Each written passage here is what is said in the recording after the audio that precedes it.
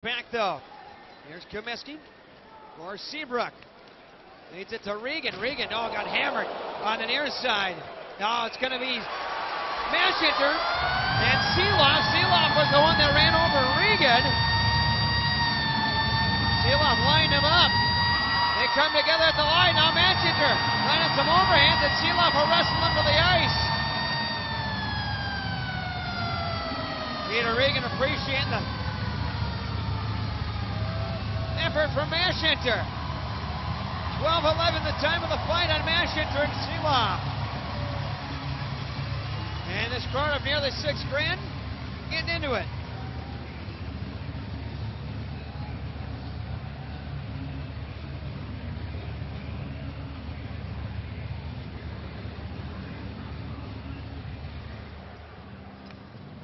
No score here between the Ice Hogs and Flames.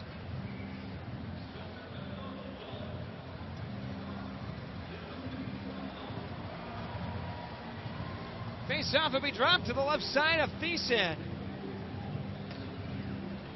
Hartman will join this line with Regin and Abbott. Off the draw, Hogs control Seabrook right point. Shot in trap.